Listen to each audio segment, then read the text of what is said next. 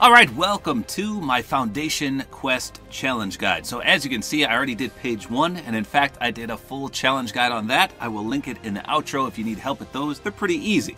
Page two, on the other hand, is a different story. So for the Tactical Visor Toggle, you need to assist in eliminating Gunnar, who is the brand new boss on the map in the new POI. Then we have to deal headshot damage to players with common or uncommon weapons. Then we have to deal damage to opponents from above with shotguns or SMGs. And lastly, we have to land at a 7 outpost and then finish top 10. And then to get this one, you just have to complete the other four challenges. So we're going to start with the hardest one, which is assist in eliminating Gunnar. So we're going to have to do this in squads, duos, trios, or solos because obviously he's not in Team Rumble. All right, so we have to go to Covert Cavern. That's where you can find Gunnar the massive boss. But unfortunately, probably a good chunk of the player base is going to be landing here. So it's going to be extremely risky. Luckily, we don't have to eliminate Gunnar. We just have to assist in eliminating him. So that just means you hit him once and then you hide for your life. Now, what I want to know is if you damage him and then you die, but you keep spectating until someone else takes him out, does it still count? I don't want to test it because I want to get this done as fast as I can, but we'll see. Maybe if I die, I'll spectate. So obviously we want to go into Covert Cavern. I don't really see that many people landing here, so I'm going to grab a weapon right here real quick. Oh, that's a sniper. Are you kidding me? The enemy has recruited.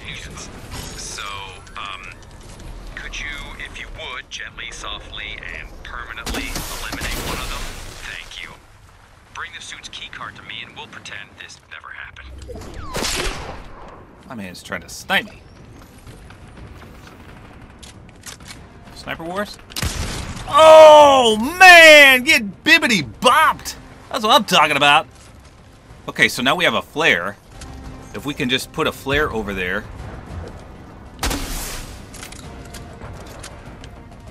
Let's put a flare up so we can see where he is.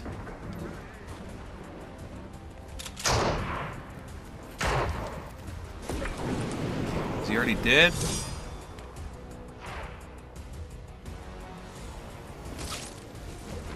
I think they already killed him.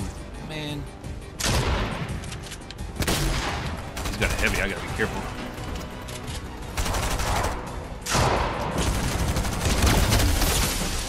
Oh, I just burned him.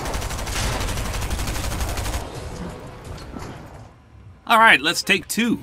We're gonna hop right in this time, find him, get a lick on him, and then get the hay better better. Okay, so we're gonna do the Nick A30 strat, which is to land straight down and then slide into that big hole.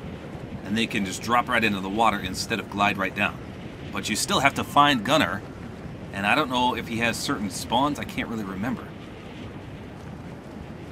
So we're gonna drop right down, and we're gonna slide from this angle, hopefully this works, into that hole. So right about here, and then slide in here. Oh, jeez, The I didn't. enemy has recruited new spies, and I'd like to know who they are. The imagined order guard suits are I failed this slide, but what's wrong with my pickaxe? So, It's all um, jacked up. Could you, if you would, gently, softly, and permanently eliminate one of them? Thank you. Bring the suit's keycard to me and we'll pretend this. All right, let's find him. I'm not exactly sure where he spawns. I was hoping this was a heavy shotgun.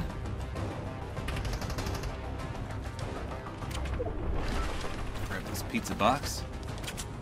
All right, where is he?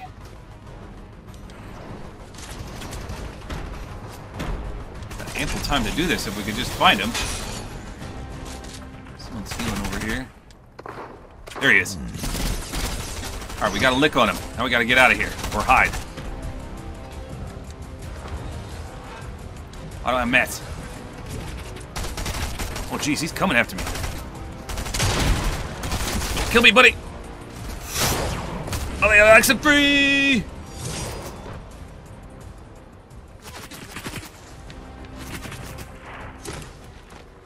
Yes. We got it. We got out of there. Let's let's retreat. Okay, we're gonna hide in this bush now. Okay, we got a hit on him. So now we just watch his health until he dies. And that should be it. That wasn't too hard. It's just finding him was the issue. Okay, the problem is... Oh, there we go. There we go. Now he's gone. I was going to say, the problem is nobody wants to eliminate him.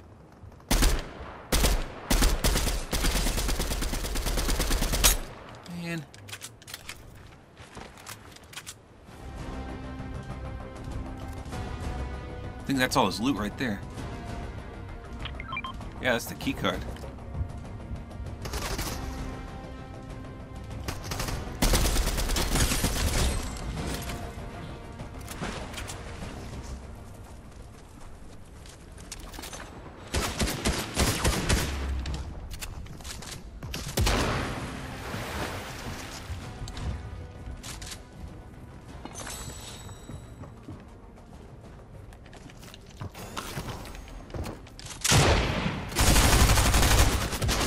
Get out of my face, kid. Not today, big fella. So there it is, the Tactical Visor Toggle. Probably the hardest challenge there, but not too bad. If you use that Nick A30 strat as I just showed you, and that's what it does. Toggles the mask on and off. Not too shabby. People's eyebrow, nice. All right, so like I said, these other two damage challenges are probably easiest done in Team Rumble. We got to deal headshot with common or uncommon, and we have to deal damage from above with shotguns or SMGs. So let's just play a match of Team Rumble, see how much we get done.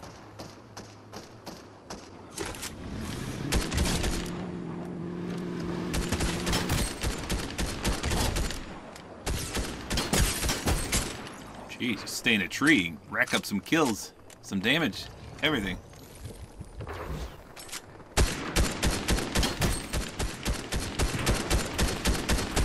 He's looking at my crosshair was right on that guy. The ranger is terrible.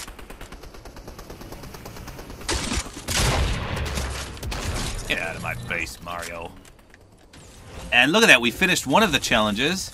Now we just have to deal damage to opponents from above with shotguns or SMGs. Okay, so I think I'm dumb. I understand now. So it's a two-part challenge. It's not land at the 7 outpost and finish top 10 twice. You literally have to land at the outpost and then in the same match get top 10. Okay, I thought you had to do both of those things two times in a row. Two games in a row, I mean.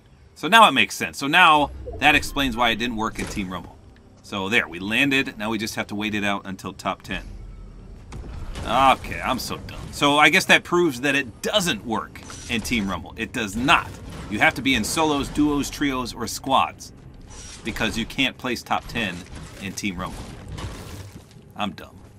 It all makes sense now. So as long as I just wait this out, I should be good to go. I doubt any squads are going to be coming over here. So we should be all right. There, we should be in the top 10 now. Let's see. Well, it says we're in the top 10, but... So this is the reward, the Rocket Wing, plus you get the Foundation Combat Edition. That one looks actually pretty sick. Same thing for the back bling. Nice color scheme. Same thing for the same thing for the pickaxe. And what's this? The Ultimate Visor? And then the Rocket Wing Stealth right there too. Nice. So there you go. Let's go back to the challenges real quick. So nothing too hard. I think that boss challenge is the hardest, but at least you didn't have to kill it. Imagine if each player had to kill that boss. That would have been excruciating. But the fact that they made it just an assist is much, much easier. Now this challenge was confusing, but we figured it out. Just land somewhere, place top 10, solos, duos, trios, squads, you're good to go. And the other two challenges were easily completed in Team Rumble. So there you go. Again, I did page one in a separate video if you want to check that out. I'll do a full gameplay and review on everything Foundation related. Stay tuned for that. Hopefully you guys enjoy this video. A like is always appreciated. And don't forget to use my supporter creator code, which is Tabor Time.